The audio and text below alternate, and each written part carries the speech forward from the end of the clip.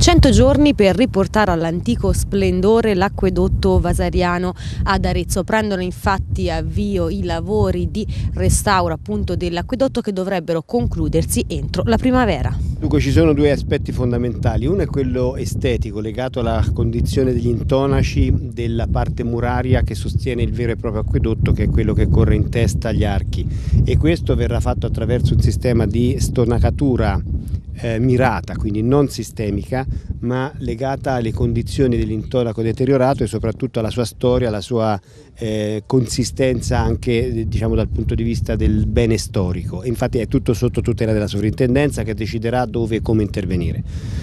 Ricostituzione di intonaco e verniciatura finale o non verniciatura finale ancora non lo sappiamo.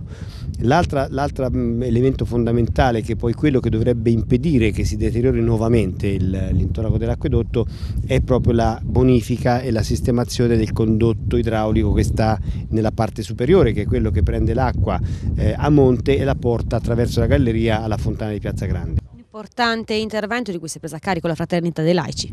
L'intervento ha un costo di 350 mila euro, è di proprietà eh, della fraternita, l'acquedotto in enfiteusi ce l'ha il comune, quindi tra il comune e la, la fraternita abbiamo ideato e portato avanti eh, questo progetto. L'acquedotto eh, racconta la storia della città, in particolare la fraternita dei laici che è una struttura, la più antica e autorevole istituzione pubblica della città di Arezzo, si chiamava eh, nei tempi passati Confraternita della Misericordia e portare l'acqua agli assetati è un'opera di misericordia corporale. Pertanto l'acqua che è arrivata in Piazza Grande nel 1602, fu festa grande quando arrivò, era un'opera di misericordia costruita e voluta dalla Fraternità dei Laici. Si chiama Acquedotto Vasariano perché è stato Giorgio Vasari che ha spinto eh, Cosimo De Medici a fare questa opera idraulica di primaria importanza che ha consentito lo sviluppo demografico, industriale e artigianale della città di Arezzo.